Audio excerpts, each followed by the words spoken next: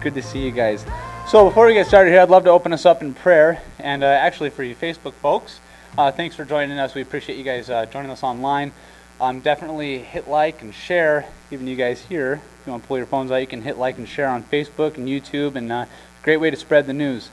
Uh, so I wanted to open us up in prayer, and a little bit before I pray, uh, my sister-in-law is today was her original due date for the baby, and uh, so uh, they I think they changed it to June 28th. So the baby's past due or on time, but not here yet. So I would definitely want to lift her up in prayer this morning before we get started, and uh, and just hope everything goes smooth. So Father God, thank you so much for uh, gathering us here this morning, Lord. Thank you for giving us the opportunity to come and just worship you as a family, Lord.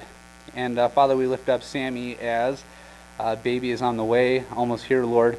We thank you for this awesome gift. Father, we just pray for a hand of protection around her, a hand of protection around her husband, Lord, hand of protection around the baby. And Lord, just pray for wisdom and guidance for the doctors as they uh, as they help Sammy and get the baby here. Father God, in your name we pray.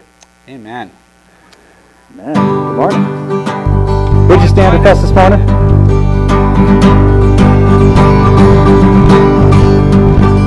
Though the tears may fall, my song will rise, my song will rise to you. Though my heart may fail, my song will rise, my song will rise to you. While there's breath in my lungs, I will praise you, Lord. In the dead of night, I'll lift my eyes, I'll lift my eyes to you. When the waters rise, I'll lift my eyes, I'll lift my eyes to you. While there's hope in this heart,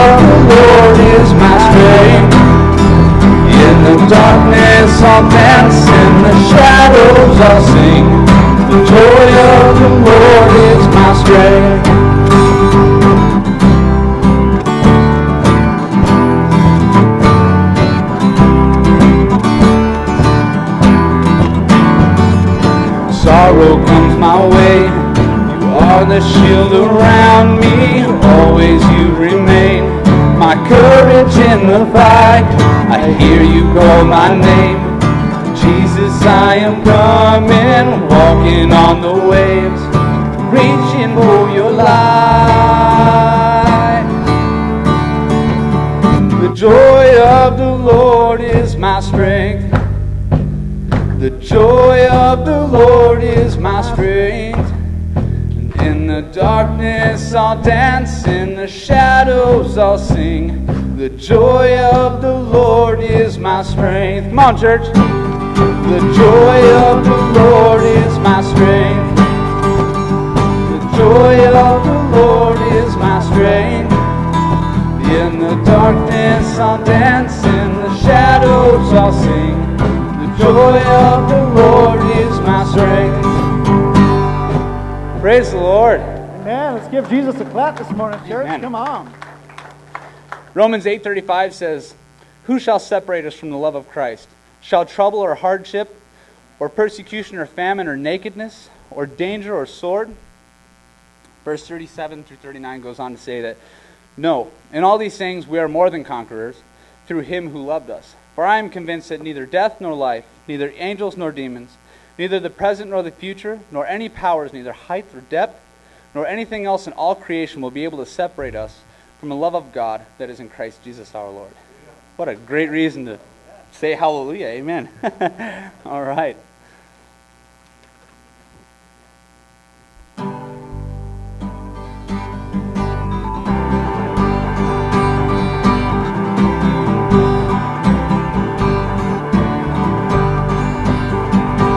When the hope and strength is gone, you're the one who pulls me on. You are the light, you are the fight that's in my soul. Oh, your resurrection power burns like fire in my heart. When waters rise, I lift my eyes up to your throne.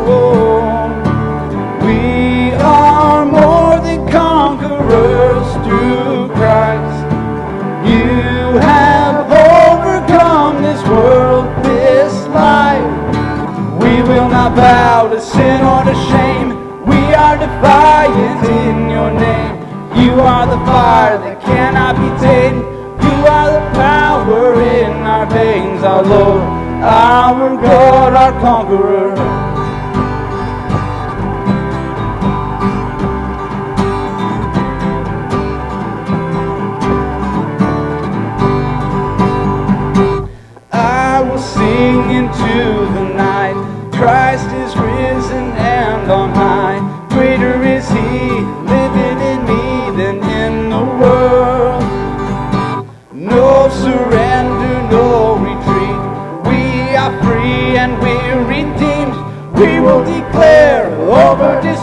You are the hope.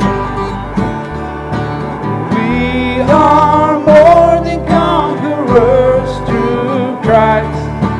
You have overcome this world, this life. We will not bow to sin or to shame. We are defiant in your name. You are the fire that cannot be tamed. You are the power in our veins, our Lord, our God, our conqueror.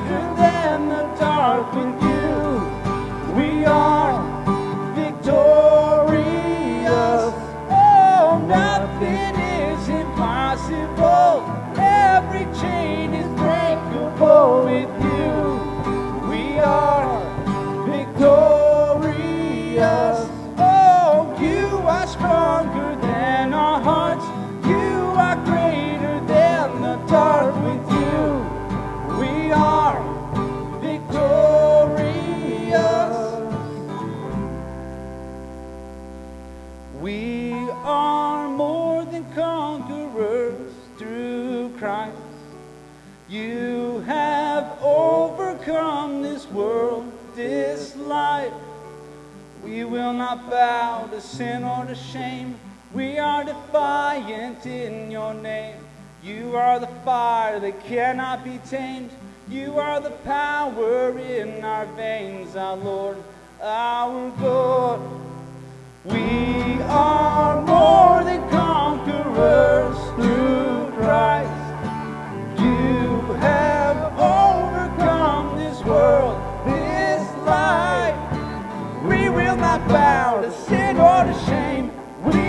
fighting in your name. You are the fire that cannot be tamed. You are the power in our veins, our Lord, our God, our Comforter.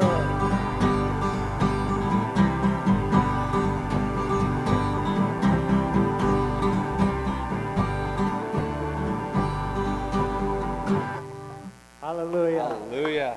Thank you, Jesus. Thank you, Lord, for the victory you've given us in Christ. Amen. If you guys want to take a moment, you can definitely uh, greet each other and welcome each other this morning. I see some new faces, so don't be bashful.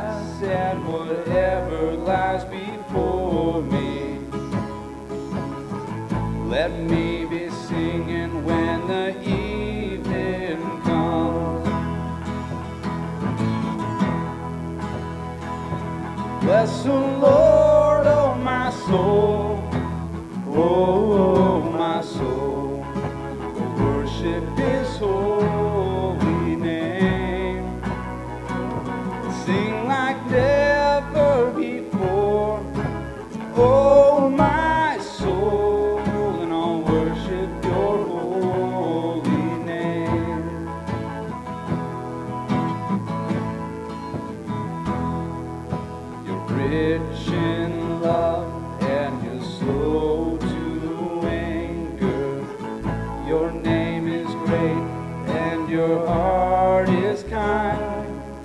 For all your goodness, I will keep on singing. Ten thousand reasons for my heart to find. So bless the Lord, oh my soul. Oh, soul.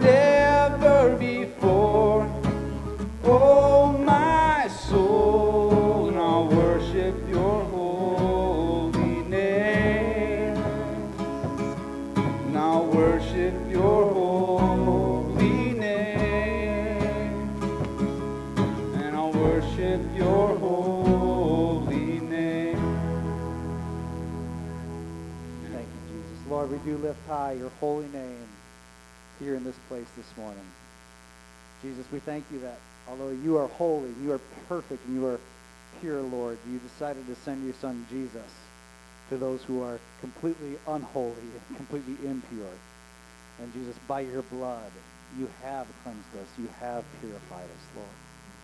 And so, Lord, we, we stand with deep respect and honor for who you are, Lord. We thank you, Jesus, for giving your life for us on the cross of Calvary, Lord. For paying the price that we could not pay so that we may receive your grace, Lord. We thank you for that this morning, Jesus. I'd like to invite you at this time. We're going to take communion together. And if you received a, a cup on the way in, you can grab it. It has both the wafer and some juice within it. If you didn't, if you'd want to slip your hand up, and our ushers will uh, get one to you, we'll make sure you are able to join if you would like to participate with us.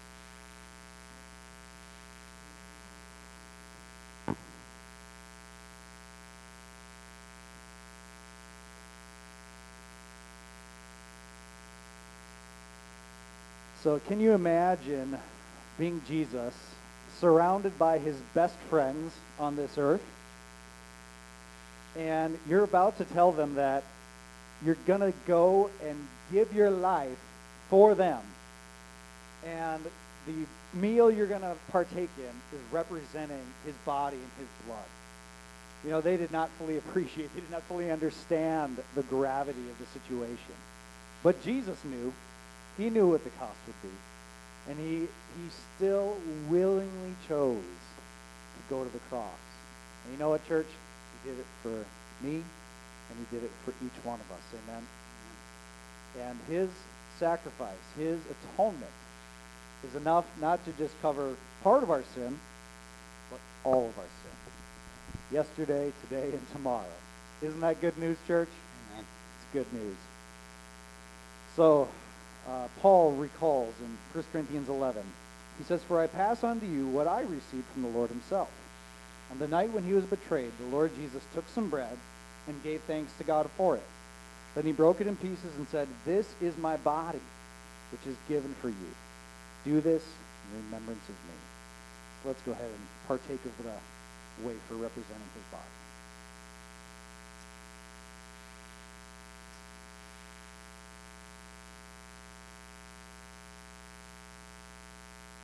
Lord Jesus, we just thank you, Lord, that although this is a little wafer, God, it, it represents something so much deeper. The scars that you took, the bruises, the battering, the beating, the crown of thorns, the nails in your hand. Lord, and, and it's just amazing to me that we can take that as a personally, to each one of us, that you did this for each one of us, Lord. God, we are so grateful for something that we have never deserved. We thank you for it, Lord. It says, in the same way, after supper, he took the cup, giving thanks. He said, This is my blood shed for you. Do this in remembrance of me. Let's go ahead and partake of the juice part of it together.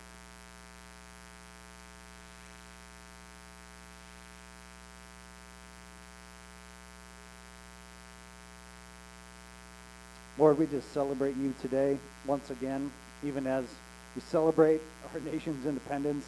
That's a small thing compared to the sacrifice that you made for us, Lord. And Jesus, we thank you that we are part of a kingdom because of you that's even greater than our nation. But we are grateful for this place you've given us as well, God. And we pray for healing in our land, Lord. Lord Jesus, your blood provides for our healing. And so, God, we pray for your healing touch, your healing power to be upon this nation once again, Lord. Father, we pray that injustices would be made right and, and chaos would end. And Father, that your will would be done here on earth as it is in heaven. And we stand together in agreement in that today. And all God's people said, Amen. Amen.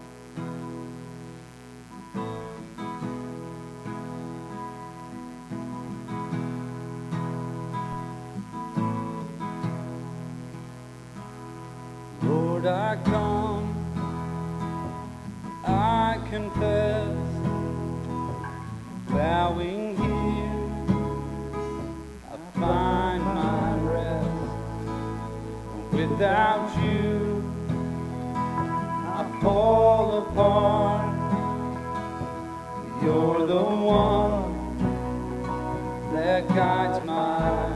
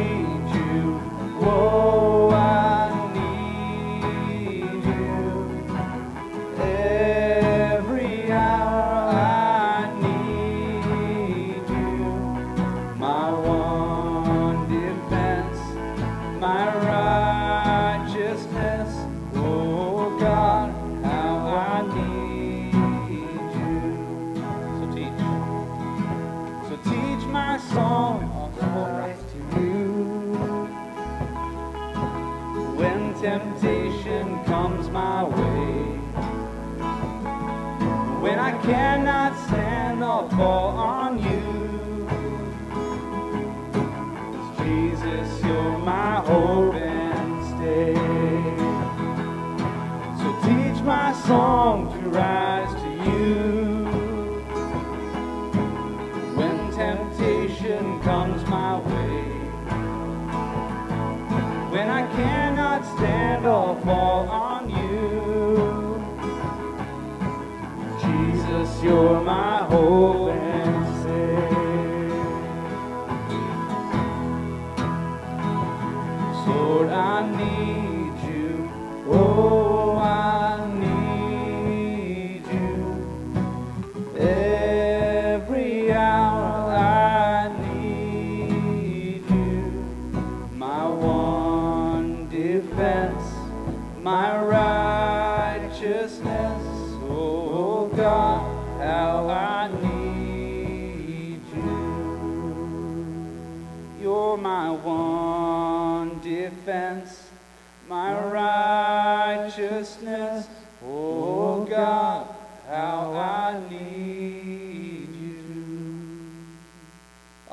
so true. We do need you, Lord. I'm going to echo what Ryan prayed earlier, Lord. Just pray that you just put peace in this nation, Lord. There's so much divide. My side's right, my side's wrong, my side's right. Lord, just pray that you just come in the middle of that. That the only one that's going to win the argument is Satan, Lord. That you are the only truth, not us. Father God, I just pray for peace in our nation, Lord. I pray for mending in our nation. Lord, I pray for the, the leaders of our nation, Father God, that you would just infiltrate the house and let that shine, Father God. Father God, I pray for your people this morning. I pray for your church. We just pray a, a blessing over the sermon this morning as Ryan's going to get up here and speak, Lord. In your name we pray all this. Amen. Man, you may be seated.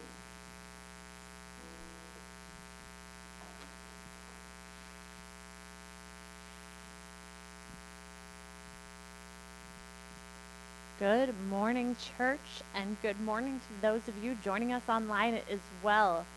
So glad to have all of you here, both online and in person. I would like to make a quick announcement. If you are joining us here in church or online for the first time, please take a moment on our website or through our app to fill out our Connect card. We would love to get to know you better, and it's just, oh, and we have a free gift. Also, Women's Night. Women are having a cameo night tomorrow night here at the church, starting at 6:30, and we would love for all of you women to join us. Um, just bring a lawn chair, and if you have a favorite yard game that you'd like to play, you can bring that as well. Also, Next Steps starts next week. So if you are newer to the church or you've been here a while and never taken the Next Steps class, we would love to have you.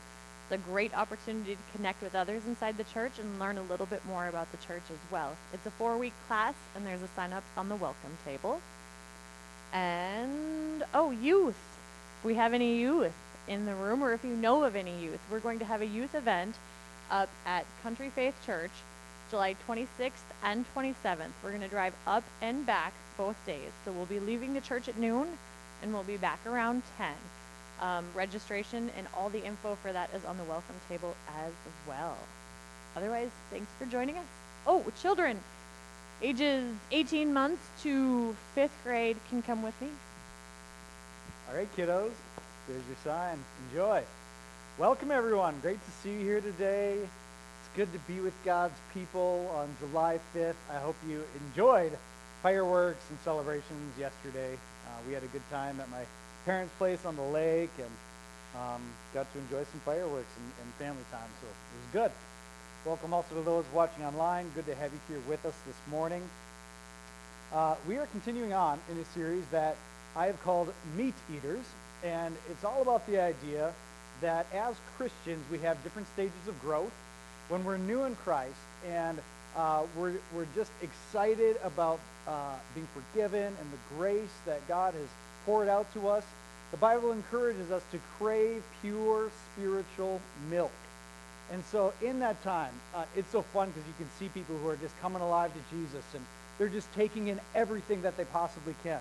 And I think that is awesome, right? Like, like go online, listen to as much good teaching as you can get.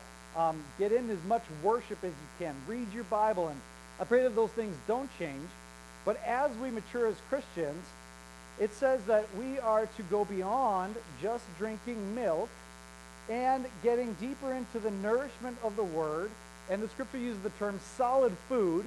And in one version it says solid meat, which of course I love because I love me some meat and some bacon and just good stuff. So it's our meat eater series.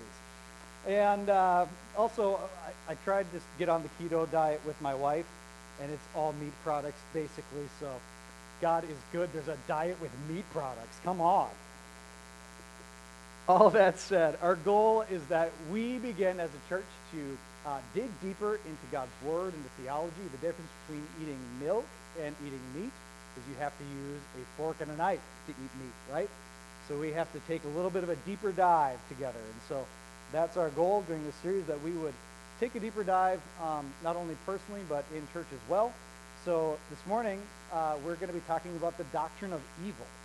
The doctrine of evil. And doctrine is just a word that means everything that the Bible says about a particular topic. So this morning, we're going to be talking about the doctrine of evil in this world.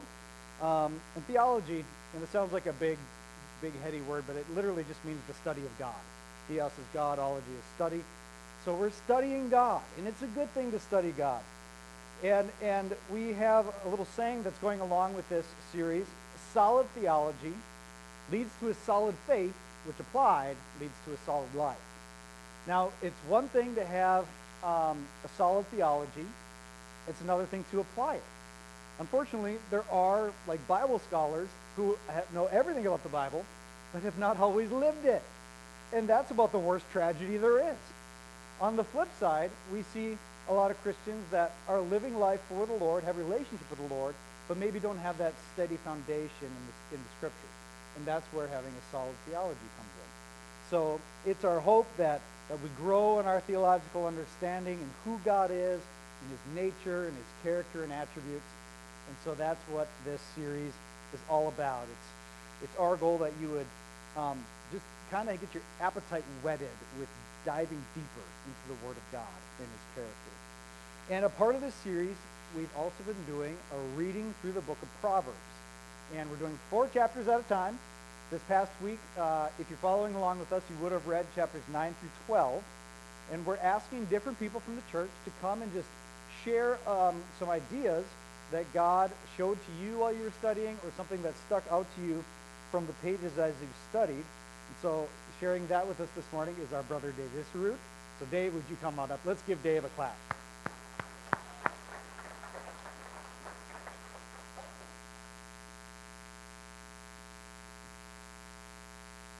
And Dave expressed to me that he was nervous. So, you know, I don't know why, but let's pray for Dave. Father, I would thank you, Lord, for my brother Dave. God, I just thank you, Lord, that he is a man of depth and a man of the word. And I know that. And I pray, God, that you just uh, allow the right words to come forward as he share this morning. In Jesus' name, amen.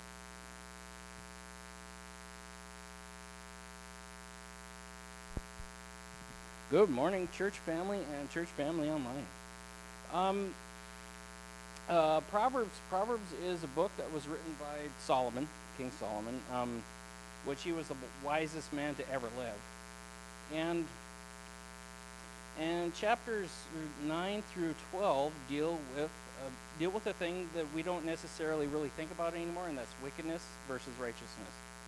Um, uh, wickedness could be substituted for the word sin as well.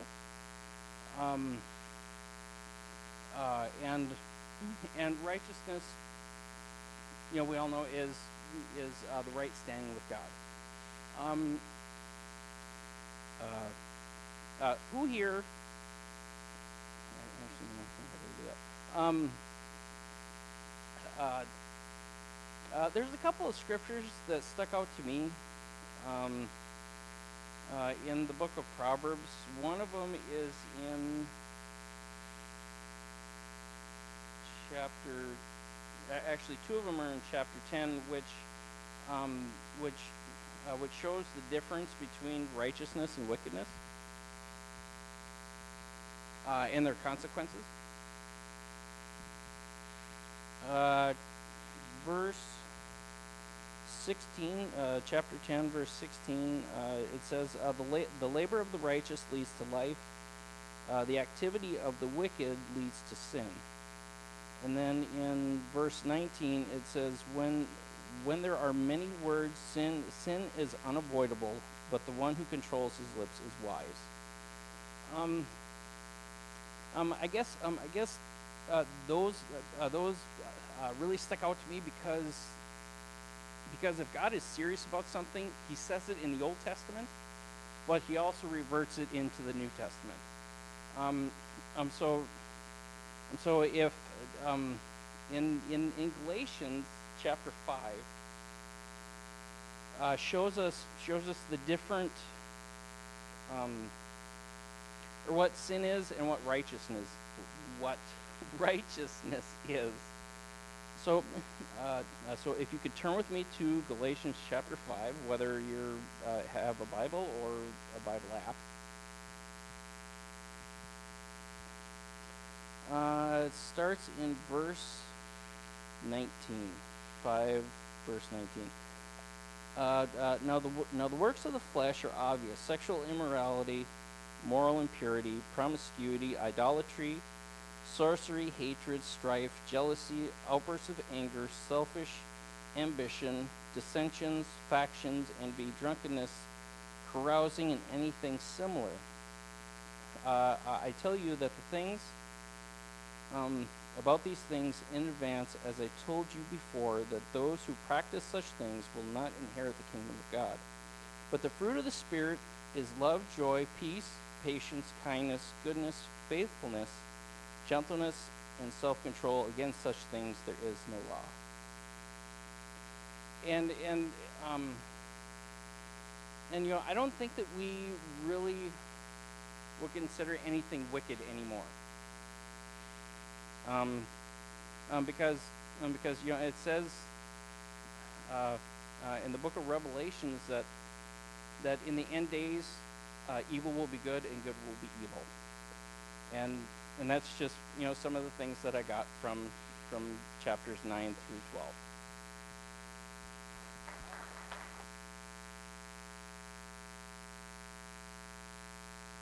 Thank you, Dave. Good job, brother. Yeah, I think that's a really important point to make in that uh, no one really does point out sin anymore, right? And if it's good for you, it's good for the world, and it's not true. Like, it's not true biblically. It's not true practically. Like, it, eventually, someone's sin is going to step on someone else's toes. And God calls it sin, so it's wrong. So I appreciate how Dave brought out that those proverbs really do point out that there's a path of the righteous and there is a path of the wicked, and both have consequences. So that was very good. Thank you, Dave. Um, I want to continue on in a little bit different from wickedness, but the idea of evil in this world. And I want to start by saying this we wouldn't know what is evil if we didn't know what is good first. We wouldn't know what is evil if we didn't know what is good first. And reality number one in the discussion of evil is that good that we do know came from God. The good that we do know has come from God. So many people want to call God to account for the evil in this world. They are experiencing evil, they're going through evil, they're seeing evil, and they assign blame to God for that evil. God, why would you allow that to happen to me? God, why did my relative get COVID 19 and die? God, why did that accident happen? And it's, it's, it's probably natural for us to, to want to point to God if we, if we believe there's a higher power. If we, it's funny, people say, I don't believe in God, but then when something bad happens, they blame God, right? But ultimately, we wouldn't know that there is, that there is evil or a corruption of good unless we first knew that there was good. And that good, according to James, is from God. James 1.17 says, Every good and perfect gift is from above, coming down from the Father of the heavenly lights, who does not change like shifting shadows. You know, some of us lost trees in the storm this past week. We got some pretty good straight line winds blowing through town on Wednesday and took out some good trees. And you know, you might have had a really nice tree. And you're like, God, why did that happen to me? and, and, and the reality is, you wouldn't know that you had lost something and first you, unless you first had that something and enjoyed that tree and enjoyed the blessing of it in your yard or, or whatever it is. It's the same way. And, and, and so we wouldn't know that there's evil if we didn't know that there was good. And so it's the same way in, in bigger issues of life. You know, those, eh, and heaven forbid, but those who have lost children, even at a young age, right? We wouldn't know it's evil unless we knew how amazingly good it was. And that good is from God. And so in the discussion of evil, we need to start there.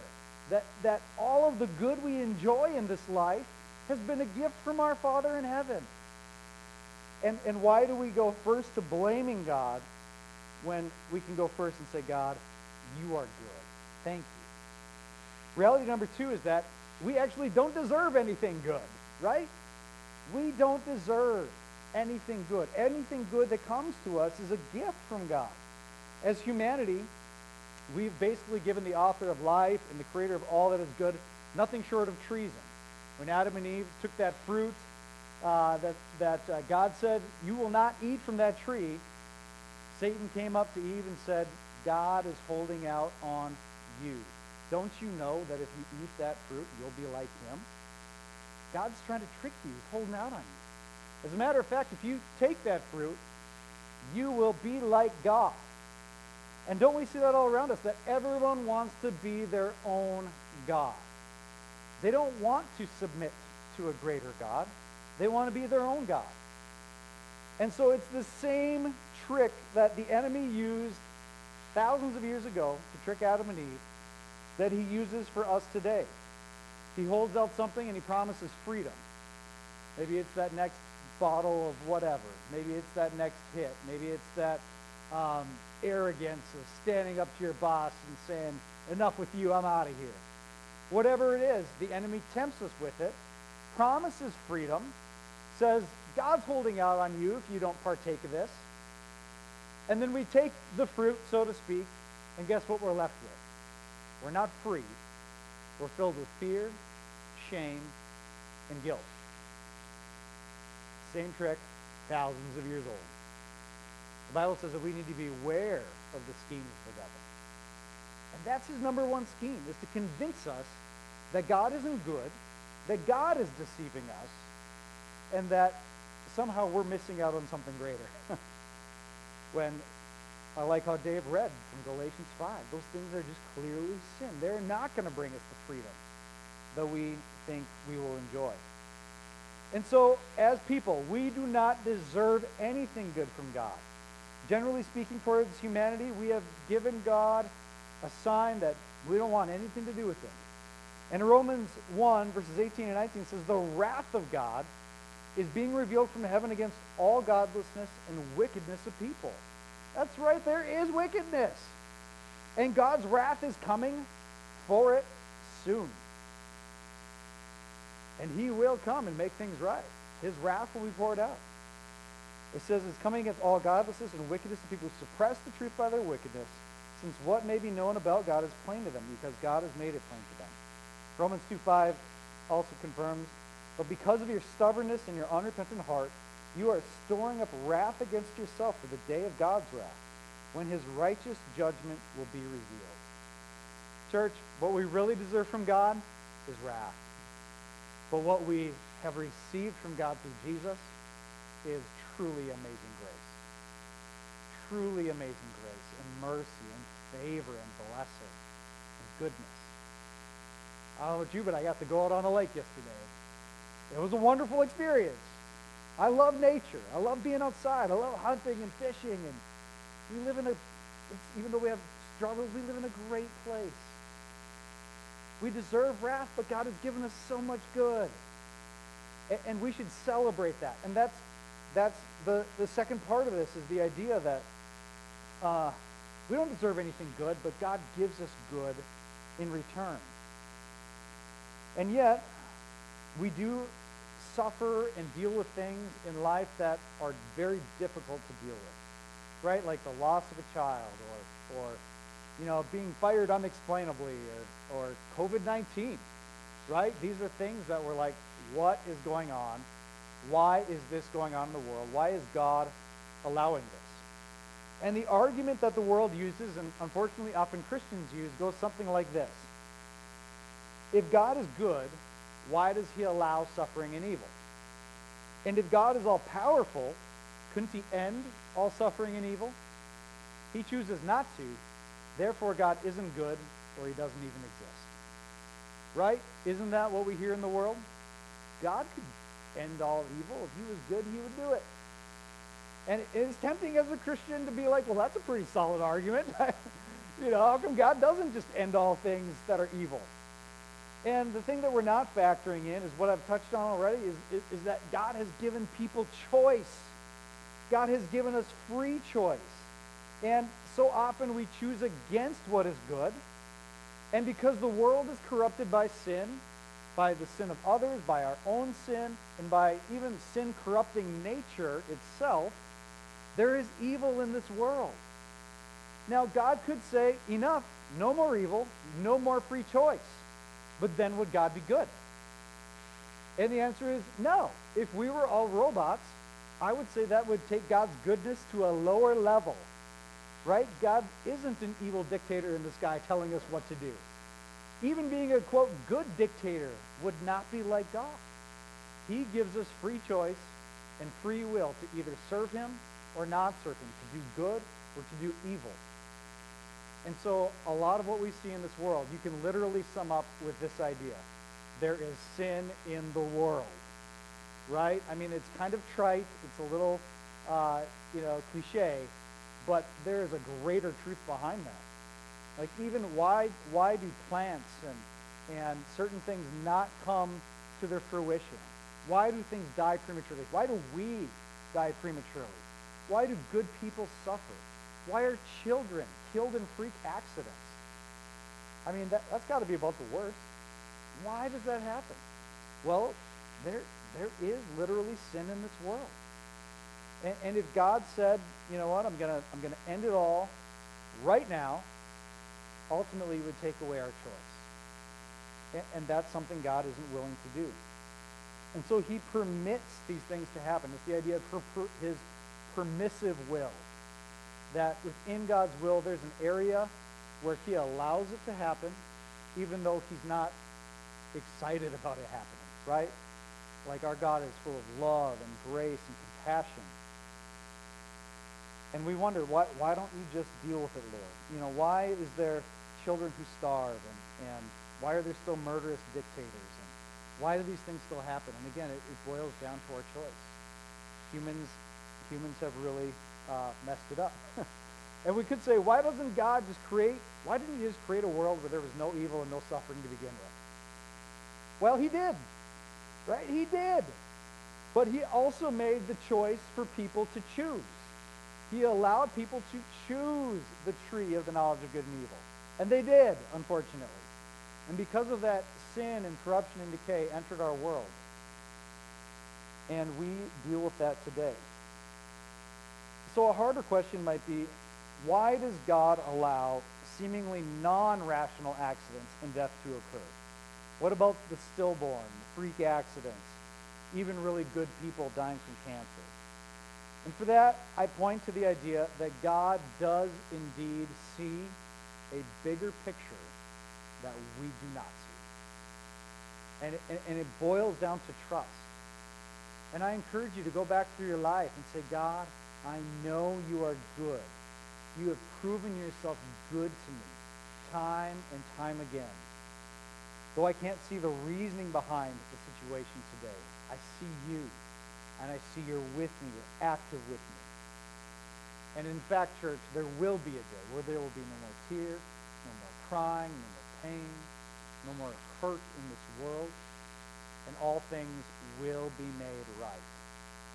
It is very difficult, though. And, and honestly, there's no theology, and there's no apologetic that is going to work great when you have lost someone dear to you. And so I encourage you as, as followers of Jesus to be very careful what you say to someone who has lost someone close. Be very careful not to try to make it a cliche argument. Well, God's going to use it for good. All right, yes, he is.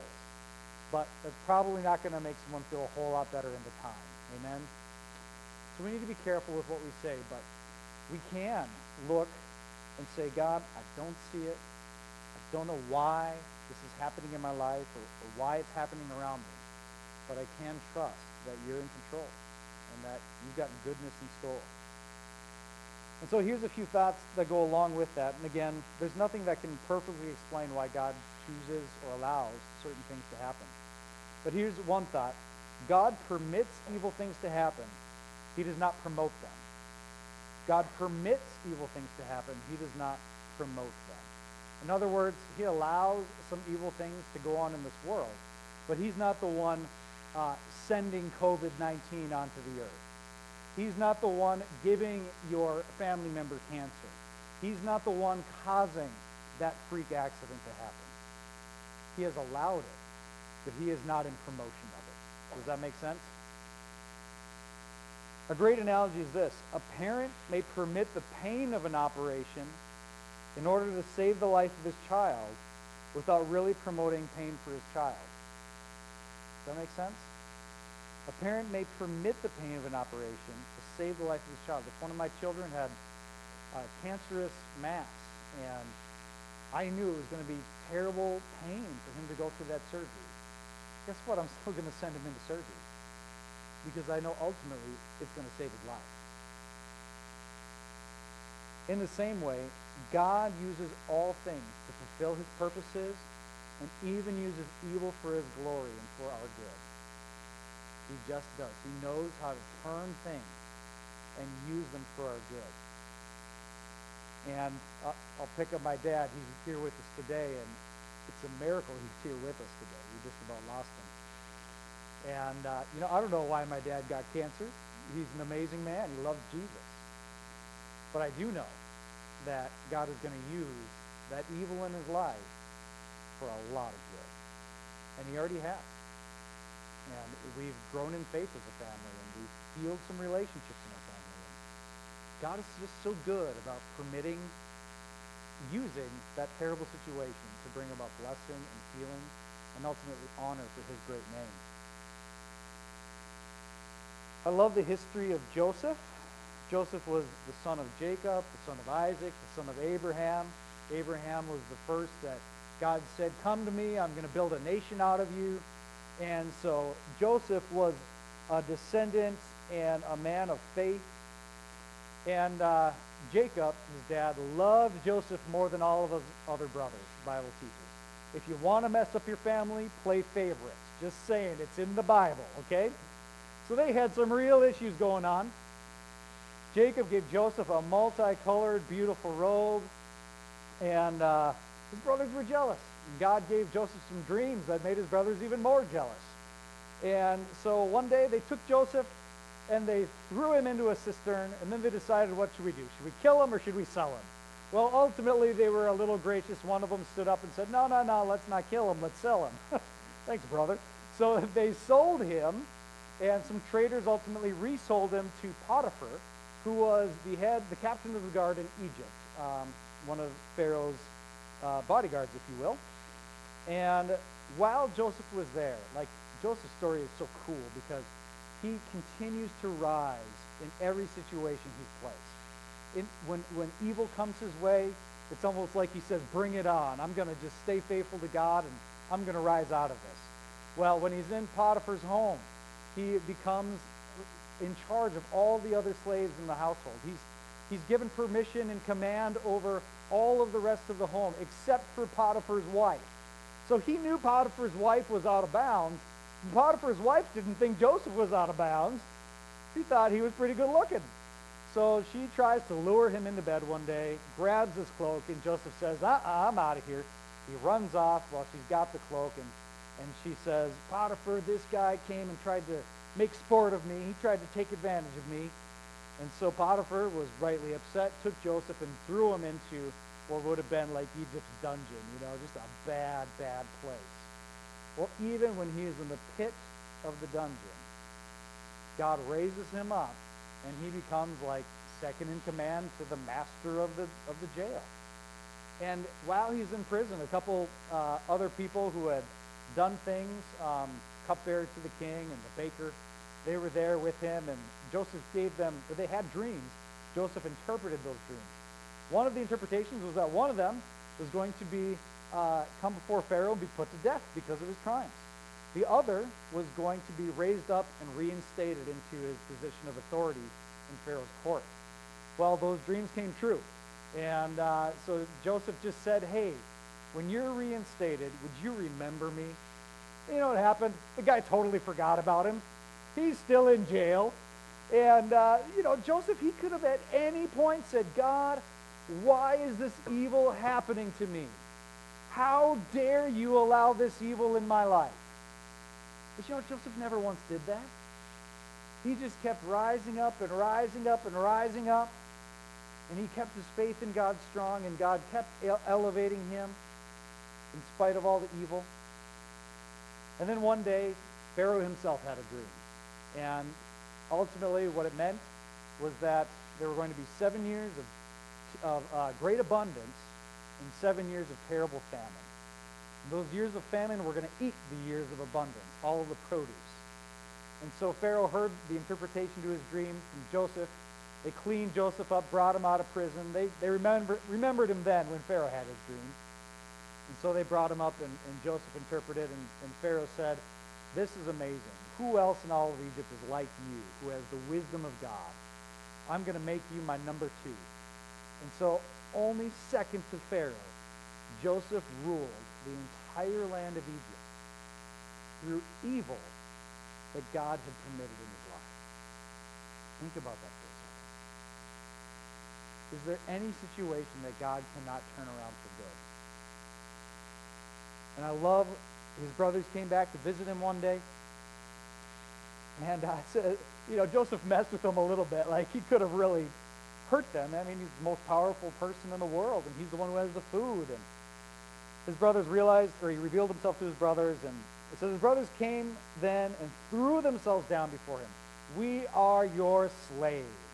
Ironic that they sold him as a slave, and they're saying, we're your slave. And Joseph could have rightly said, yes, you are. but you know what he said? Do not be afraid. Am I in the place of God? You intended to harm me, but God intended it for good, to accomplish what is now being done, the saving of many lives. Oh, isn't that good? And I just wonder these days, because these days are evil, what kind of good is going to come out of this? And I believe, church, that there's something good coming out of this. COVID-19, the rioting, the, all this stuff where it just everything seems evil. But I know God is bigger. And he's going to take what the enemy meant for evil, and he is going to turn it for good in this nation, in this world. And maybe these events are leading up to Jesus' return. And that's going to be the ultimate good. It's going to get harder before it gets better. Mean, if this is the end, it's going to be harder before it gets better. But there is nothing that God isn't going to turn around and use it for good, whether in this life or the next. So we need to hold on to that truth. We need to hold on to that. And in our own lives, you know, Satan, you intended that for evil, but God is using it for good. This, this situation, it was meant for evil, but God's going to turn around and use it for good. And I just believe we can fully trust him. No matter what evil has come our way, that, that God has a greater purpose, a greater picture. I wish we would see that picture now, but we don't. But God allows these things. He allows these evils to happen. He isn't promoting them. He's not the one sending them. But he's allowing them to happen because he knows that there's a bigger picture. And he will, he will intend what was evil and he'll use it for good. Those things that happened to Joseph, you know, we shouldn't brush off troubles. We shouldn't brush off people's struggles, what they're, what they're dealing with, their loss. You know, we should love people. Those things that happened to Joseph, they were wrong. They were unjust. They were unfair. And we need to acknowledge that. But then we also need to bring in the hope of Christ, that God can take all these things and make them good. Would you pray with me? Heavenly Father, I thank you, Lord, for this morning. Lord, we do not know why COVID-19 struck the world. And we do not know why these injustices in our, in our nation were brought to light. And we, we don't know, other than people's sinfulness, why all the chaos and looting is going on, Lord. But Lord, we do know that you are in control. And God, I do pray, God, that you would just bring a, a strength and a peace and a security to us as your children. Father, that we would be able to stand strong in these days, now and in the days ahead. Father, we do pray for rights to be wronged, or, excuse me, wrongs to be righted in our nation, Lord. Father, we pray, Lord, for the social, the injustice, Father, the racial injustice that has plagued our nation, God. Father, for how we've treated people. Lord, forgive us of that sin. Father, we pray for righteousness to be reinstated into this place, Lord. There is wickedness, there is righteousness. Father, we pray for an end to the chaos and the, the destruction that, that people are inciting. And Lord, I pray for peace. I pray for peace, peaceful talk, peaceful protest, peaceful ways of bringing about your will, Lord. Father, we just pray, God, for, for a, a healing of our land. Father, I pray for each one of us, God, that has struggled through evil, struggled through suffering, struggled through hardship. Father, that you would just give us a sense of your, of your comfort. Lord, there's no one that can comfort like you can. Father, there's nothing that a person can say that can make some things right. But Lord, you can comfort our hearts. I just pray for a touch of your Holy Spirit on everyone, God, who has been suffering some kind of evil in their life. Lord, I pray for that suffering to end. And I pray, Lord Jesus, that you would comfort them. And God, every suffering would turn around and be used for good. And I pray that we'd see glimpses of that good in our day, Lord. Lord, we trust you. We trust you. We trust you. Father, help our trust to grow even today, even this 4th of July weekend, Father. We love you, Lord. We thank you, God, for this for this nation that we live in, God. It's still a, a wonderful, great place to live. So, Father, help us to turn our hearts towards you as a nation once again. I bless your people today. I thank you that you love us, God. And you're in control. In the name of Jesus Christ, your Son. Amen. Amen. Well, be blessed. Really great to see you all today. Uh, God's peace and comfort be with you and enjoy the rest of your weekend. I hope you got some good chance to connect with family and the people you love, and if not, maybe you can do that today. So, God bless you. We'll see you later.